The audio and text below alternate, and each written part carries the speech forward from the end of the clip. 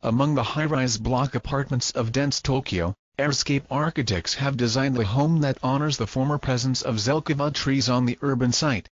While one of the elegant elms remains on the southern part of the property, the Hachioji treehouse seeks to be a concrete grove in the cityscape, using the built form to abstract the natural lines of a tree-filled plot.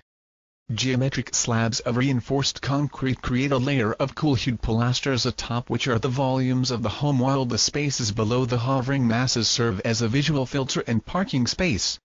The effect of the structural slabs is also optical, helping to both obliterate parts of the urban fabric and reframe view of fledgling trees.